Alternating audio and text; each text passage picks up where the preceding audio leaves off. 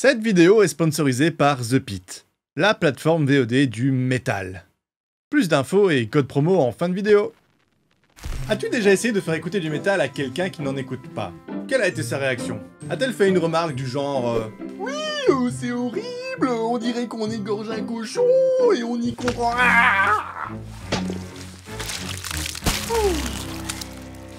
Bon, je la rejoins peut-être sur un point. C'est vrai que parfois ça peut sonner horrible. Mais c'est peut-être même parfois intentionnel. Ah, tu vois, j'avais raison. Ah, la relation musique, rock, metal avec le monde du cinéma, ça date pas d'hier. Et c'est clair qu'en termes d'imagerie qui match plutôt bien à ces musiques sombres et gutturales, on a souvent eu des mariages qui se passent plutôt pas mal entre l'univers du métal et l'univers du cinéma. Mais pas de n'importe quel cinéma.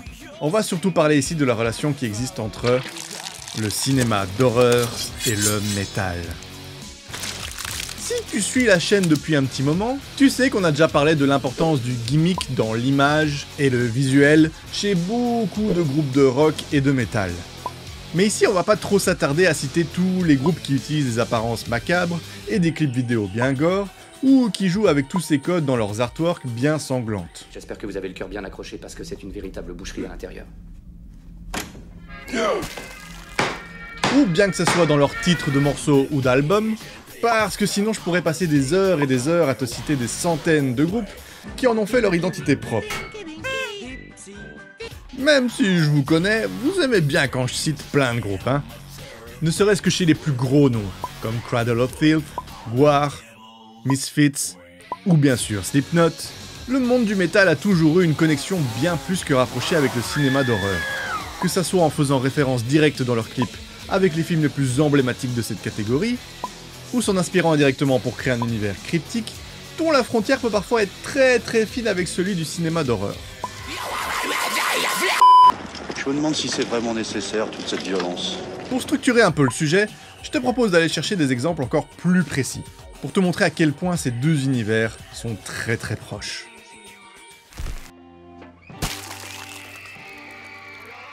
Vincent Furnier est un gars fan des Stones, Yardbirds ou des Beatles, s'amusant d'ailleurs à ses débuts à porter une perruque sur scène pour leur ressembler. Le groupe dans lequel Vincent chante change souvent de nom à leur début.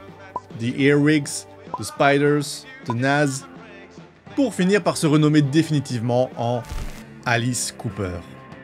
Le nom du groupe évoquant pour Vincent une charmante petite fille cachant une hachette derrière son dos, mêlé au maquillage burlesque ainsi qu'au look à totalement inhabituel pour un groupe de rock de l'époque, va choquer le public.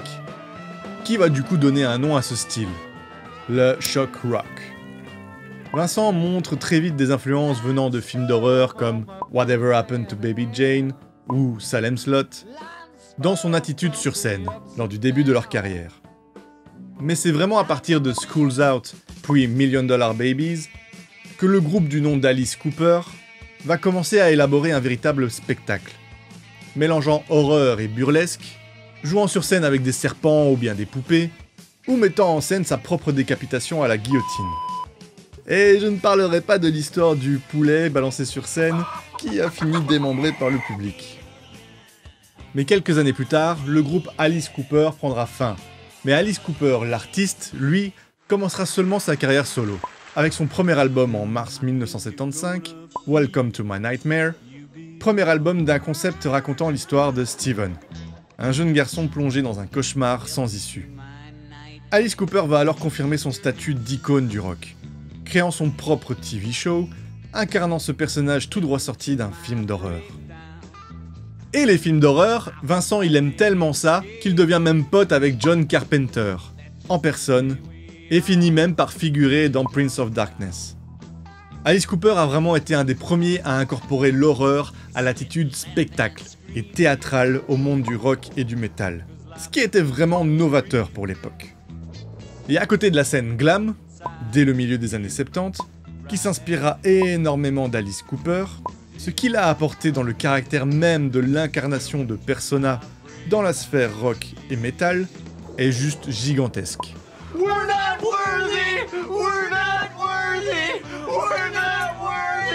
Un peu après dans les années 80, qui ont clairement été la décennie la plus créative et la première à vraiment créer les piliers du cinéma d'horreur, il y a un autre artiste qui va clairement devenir une référence quand on parle d'horreur et de métal.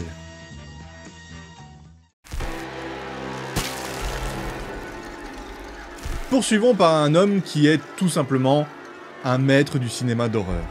Et bah aussi un artiste tout autant connu dans la sphère métal.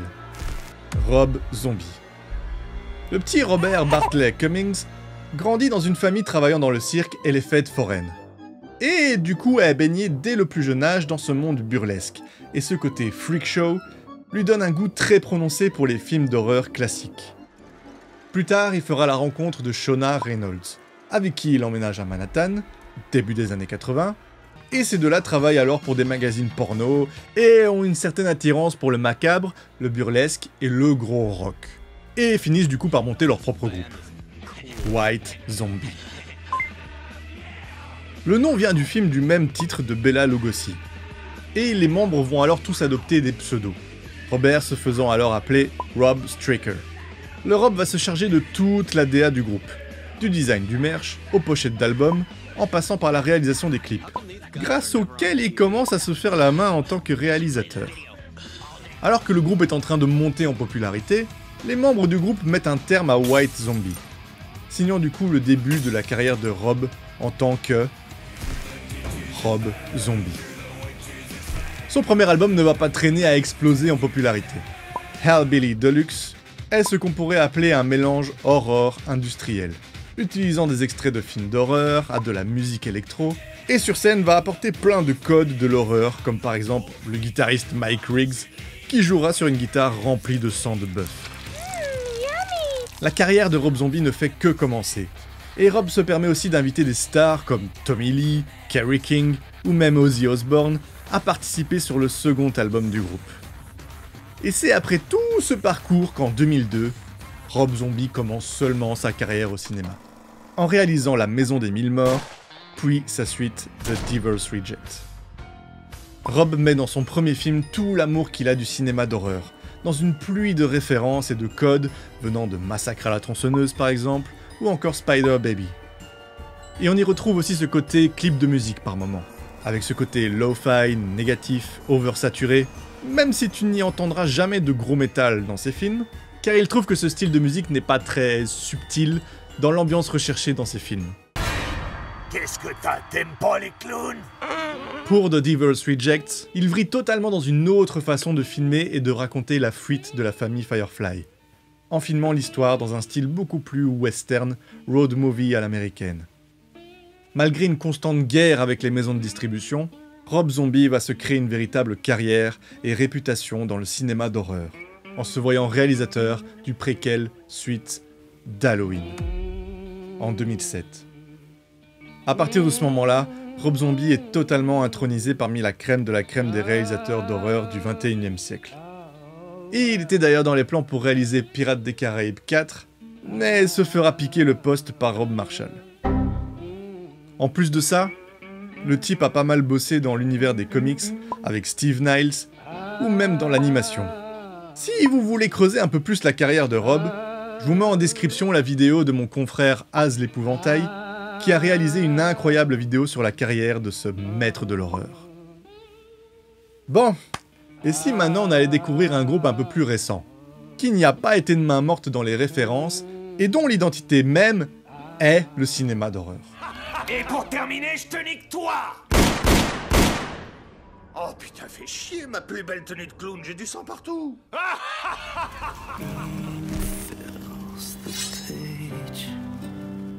Formé en 2002 par Jeremy Schwartz et Spencer Charnas, Ice Nine Kills est dans ses 15 premières années d'existence la définition même d'un groupe de metalcore.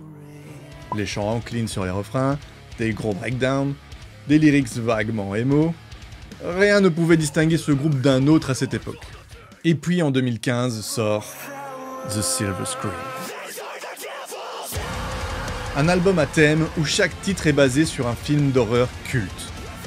Le groupe avait déjà fait ce type d'exercice, mais basé sur des livres cultes, sur Every Trick in the Book, ou d'autres thèmes communs sur leurs précédents albums, mais The Silver Scream délivre un match parfait entre le style du groupe et des films d'horreur comme Halloween, Vendredi 13, A Nightmare on Elm Street ou encore It.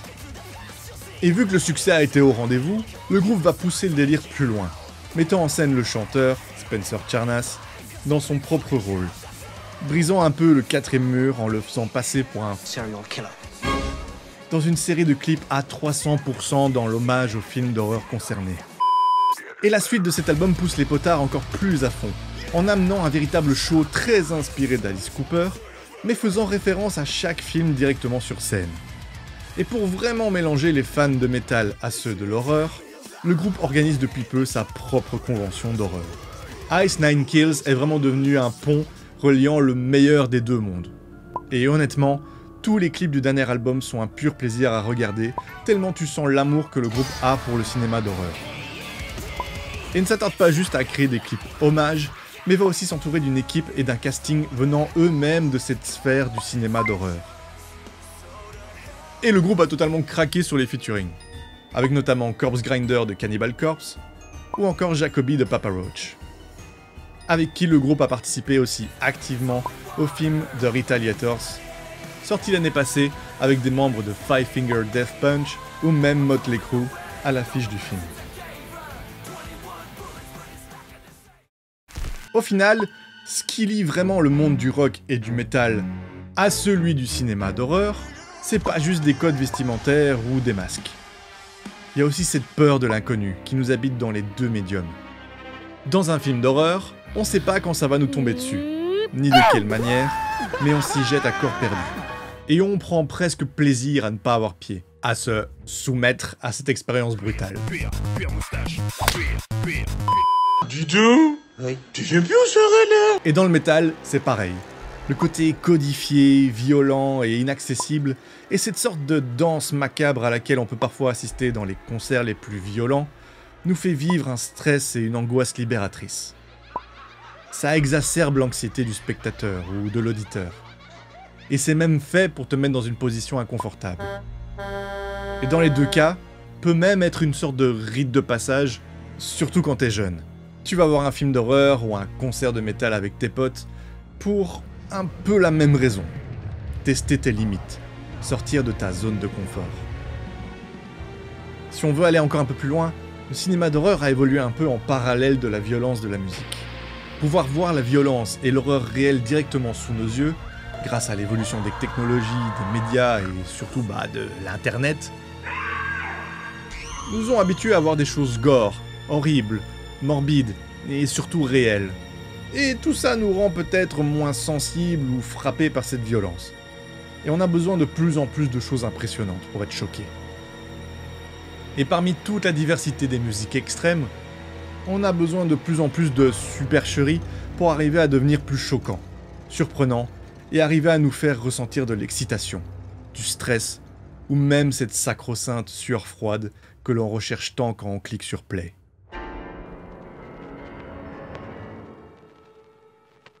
Merci à toi d'avoir regardé cette vidéo. L'horreur et le métal, c'est une longue histoire d'amour. Et on pourrait encore en parler pendant des heures et des heures. Et je commence à vous connaître. Je sais que vous avez soif de culture musicale et que vous raffolez de documentaires en tout genre. Eh bien, ça tombe bien. Est-ce que tu connais The Pit? The Pit, c'est une plateforme de VOD, une sorte de Netflix du rock et du métal, et en français. de charisme. Et avec The Pit, on te fait un gros cadeau. L'abonnement pour 6 mois passe à 15 euros au lieu de 36. Combien Avec le code promo LAMA 6 mois. Je pense que ça te revient à 2,50€ le mois. Soit que dalle pour avoir accès à plein de films, live ou documentaires introuvables ailleurs. Comme récemment un documentaire sur Betraying the Martyrs. Et tu me demanderas Ouais, mais toi, t'y gagnes quoi, hein? Bah, à chaque utilisation du code, j'y gagne un petit pourcentage. Donc en plus de te régaler, tu me régales aussi. Si tu cherches les liens et les codes, je te mets tout en commentaire épinglé ici, juste en dessous. Sur ce, on se dit à la prochaine